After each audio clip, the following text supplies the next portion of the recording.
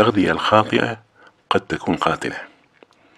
قال باحثون بريطانيون إن التغذية الخاطئة لعبت العام الماضي دورا حاسما في واحدة من كل خمس حالات وفاة على مستوى العالم. وبحسب الدراسة المنشورة في مجلة لانسيت البريطانية المتخصصة فإن خطر وفاة الإنسان يزداد عندما لا يتناول قدرا كافيا من منتجات الحبوب والفاكهة أو عندما يتناول نسبة كبيرة من الملح في طعامه. مما يؤدي إلى مشاكل صحية منها زيادة الوزن وارتفاع ضغط الدم والكوليسترول.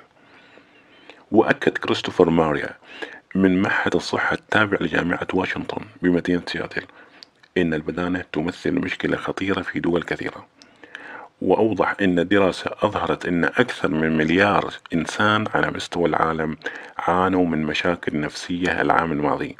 وشارك في الدراسة أكثر من 2500 خبير بيانات أخذت من 130 دولة وتناولت عوامل المرض والإصابة.